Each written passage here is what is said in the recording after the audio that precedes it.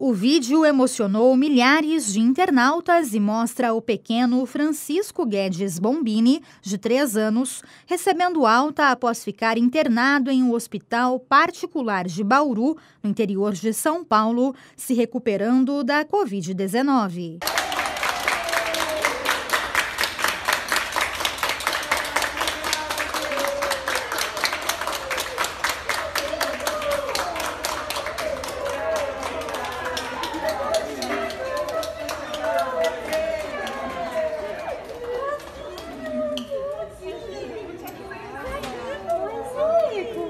Conhecido como Super Chico, ele foi diagnosticado com coronavírus e ficou 18 dias na UTI. Mas essa não é a primeira vitória de Chico.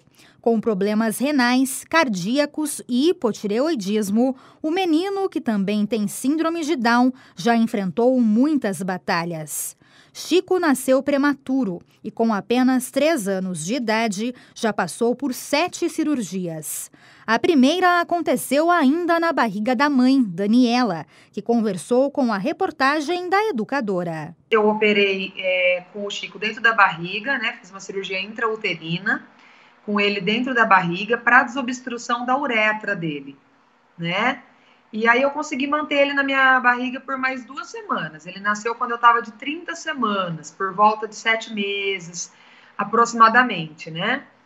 E na gestação e na, no nascimento, é, além da disfunção renal grave, a gente é, descobriu outros vários problemas de saúde. Daniela confessa que em alguns momentos não acreditou na recuperação de Chico. Foi a primeira vez que eu senti medo de, de perdê-lo, né? Dele não conseguir.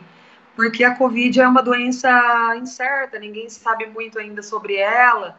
E o Chico, por ter tantos problemas de saúde, tantas comorbidades, aliás, ele tem todas as comorbidades relacionadas pela OMS, né? É, a gente imaginou que ele pudesse não conseguir. Né? Então, assim, foram os quatro primeiros dias foram bem intensos, com saturação oscilando, abaixando, e depois foi normalizando. Depois, no quinto dia para frente, mais ou menos, eu já acreditava que ele, que ele fosse conseguir sair de lá bem, né? Como ele sempre saiu de tudo, de, de, de todas as cirurgias que ele passou, e aí agora é só alegria. Desde o nascimento do filho, Daniela resolveu compartilhar a história de superação nas redes sociais. E seu perfil no Instagram já tem mais de 170 mil seguidores. Fenômeno nas redes sociais, Chico é conhecido como o menino mais feliz do mundo. Está sempre sorrindo e compartilha alegria, amor, fé e esperança em tempos de crise. E ele saía das cirurgias, é sorrindo, e assim, era uma coisa inacreditável, né? Ele conquistava médicos, enfermeiros, e, e, e todo mundo falava, mas não é possível esse menino. Então, eu até falei, é, falo para muita gente que o poder dele está no olhar e no sorriso.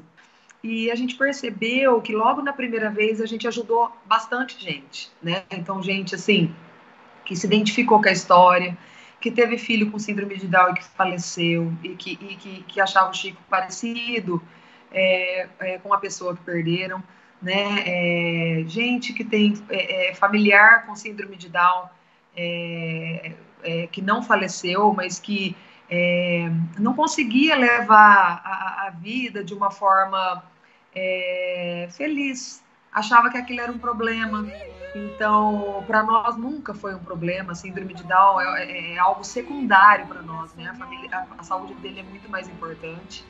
Né? Nem é secundário, não é problema, como eu disse. E, e teve gente, inclusive, com depressão, é, bastante gente de idade que diz para nós que não consegue começar o dia sem um bom dia dele. Então, assim, a partir do momento que a gente viu que ajudou uma única pessoa, é, a gente falou, vale a pena, vale a pena colocar o dia a dia dele e mostrar que mesmo diante de dificuldades e limitações, é, é possível sim ser feliz e muito feliz. Para tirar essa tristeza do seu coração.